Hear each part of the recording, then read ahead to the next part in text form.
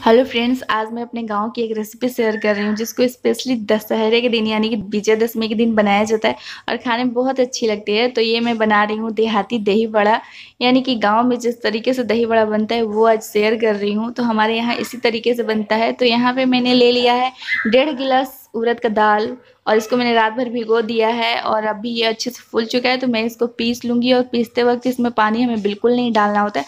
थोड़ा थोड़ा पानी डाल के इसको बारीक पीस लेना है।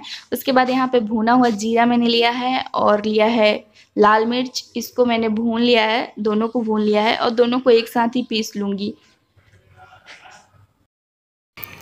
तो यहाँ पे मैंने दाल को पीस के एक घंटे के लिए रख दिया था फूलने के लिए और इसमें आप देख सकते हैं पानी को मैंने एकदम ना के बराबर डाला है, एकदम कम पानी यूज़ किया है और ये अच्छे से फूल चुका है तो इसे ज़्यादा फेंटने की भी ज़रूरत नहीं पड़ेगी। अब मैं इसमें कुछ कुछ डाल लूँगी तो जैसे मैंने लिया है यहाँ पर किशमिश सूखा, नारियल, हरी मिर्च, अदरक इनको डाल के और थोड़ा सा जीरा डालूँगी, लगभग छोटी चम्मच से आधा चम्मच जीरा डाल के इसको फेंट लूँगी और इसको फिर मैं तलना स्टार्ट करूँगी। तो हम लोग दही बड़े को तलते हैं सरसों के तेल में और सरसों के तेल में तला हुआ दही बड़ा बहुत खाने में टेस्टी लगता है। तो हमारे गाँव में भी सरसों के तेल में ही तला जाता है, बाकी बहुत लोग रिफाइन वगैरह में तलते हैं। तो सरसों के तेल में दही वड़ा तल के कभी आप लोग भी ट्राई करिएगा, बहुत बढ़िया टेस्ट आता है। तो बस इसको फेंट लूँगी मैं थोड़ा सा क्योंकि ये अच्छे से फूल चुका है, ज़्यादा फेंटने की ज़रूरत नहीं है हमें। और मैंने यहाँ पे इसमें कोई भी बेकिंग सोडा वगैरह कुछ नहीं ऐड किया है, बस इस मैंने एक घंटे के लिए छोड़ दिया था फूलने के लिए। और यहाँ पे देखिए मैंने गुनगुना पानी लिया है, इसमें मैं थोड़ा सा डालूँगी नमक, उसके बाद थोड़ा सा डालूँगी हींग। वैसे गाँव में हींग वगैरह ये सब उतना लोग नहीं डालते हैं, बस नमक वाला पानी डाल के और इसी में बड़ों को डाल देते हैं फूलने के लिए। तो इसको मैंने रख लिया है। तो हमारे गाँव में विजयादशमी के दिन यानी कि दशहरा के दिन ये चीज़ पक्का हर घर में बनता है। हर घर में लोग इस तरह के से दही बड़ा बनाते हैं। सूरन की सब्ज़ी बनती है, सूरन यानी कि ओल की सब्ज़ी जिसको बोलते हैं, ओल की सब्ज़ी बनती है। उसके बाद मीठा शक्कर पारा तो मीठा शक्कर पारा को हमारे तरफ़ खुरमा बोलते हैं, मैदे का खुरमा, वो बनता है। और यहाँ तो है सिटी में तो सारे लोग जाते हैं बाहर रावण दहन देखने के लिए, उसके बाद रेस्टोरेंट वगैरह में खाना खा के आते हैं।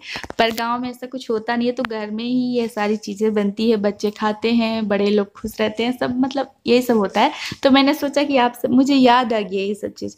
मैंने सोचा कि आप सभी के साथ भी शेयर करना चाहिए तो बस वही मैं शेयर कर रही हूँ। तो यहाँ पर देखिए, बड़ों को मैंने डाल दिया तेल में।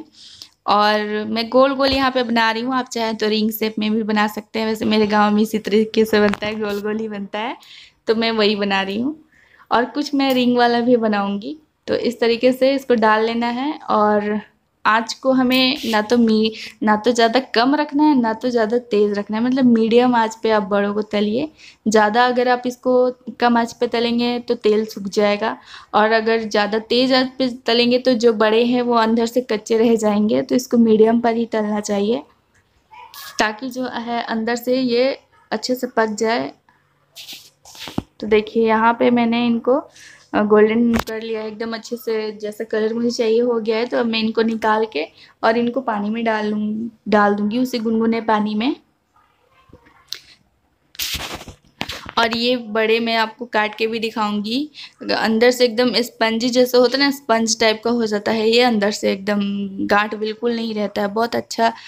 ऐसा नहीं है कि गोल गोल है तो बीच में इसके अंदर गांठ रहेगा। तो देखिए, यहाँ पे मैंने एक रखा है दिखाने के लिए, अब काट के दिखा रही हूँ आपको तो देखिए। ये अंदर से अच्छे से पक चुका है और देख रहे हैं कैसे खोखला सा हो गया है। तो सारे बड़े इसी तरह से एकदम से हल्के हल्के से हो जाते हैं। तो इसी तरह से मैं सारे दही बड़ों को तल लूँगी। दही बड़े अभी नहीं बोल सकते, अभी सिर्फ़ बड़े हैं तो इनको मैं तल लूँगी अच्छे से। तो यहाँ पे कुछ बड़े अच्छे से फूल चुके हैं, इसलिए मैं इनको निकाल के और अलग रख ले रही हूँ। तो पानी को हल्के हाथों से दबा के निकाल लेना है।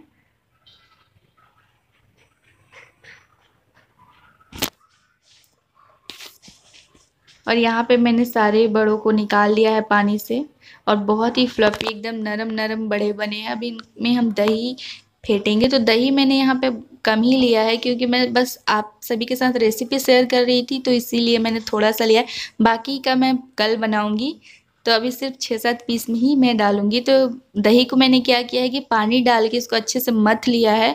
और अगर आपके दही में थोड़ा सा भी मलाई जो भी है मक्खन मलाई, आप उसको निकाल दें, क्योंकि इससे बड़े का टेस्ट ना, दही बड़े का टेस्ट बेकार हो जाता है। तो मक्खन मलाई निकाल के ही आप दही बड़ा बनाएँ। तो यहाँ पे देखिए, दही को फेंट लेने के बाद मैं इसमें डाल रही हूँ नमक। और नमक डाल लेने के बाद मैं इसमें डालूँगी वही भुना हुआ जीरा और लाल मिर्च जो पाउडर मैंने बनाया था, उसको मैं डालूँगी। तो हमारे गाँव में यही तरीका है बनाने का। अब हम इसमें तड़का लगाएँगे ज़ीरे का। तो बस जीरे का तड़का लगा देना है और जो बड़े हैं उसमें डाल लेना है, उसको रख देना है थोड़ी देर के लिए ताकि अच्छे से बड़े के अंदर दही का जो है खटास जो है बड़ों के अंदर चली जाए।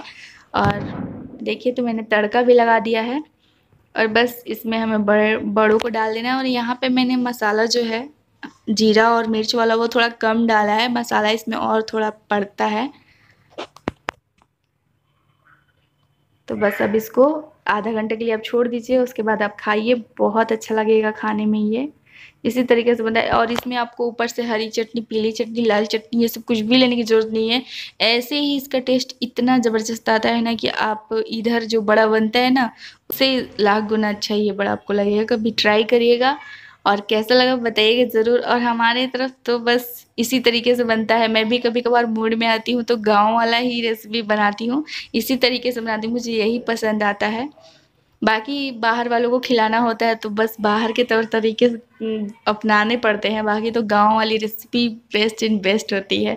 तो चलिए आप लोग भी ट्राई करिएगा। और वीडियो पसंद है तो वीडियो को लाइक करिएगा। और यहाँ पे देखिए मैं काट के दिखा रही हूँ। काफ़ी अच्छे से हमारा जो दही बड़ा है वो पक चुका है, गांठ बिल्कुल नहीं है इसके अंदर।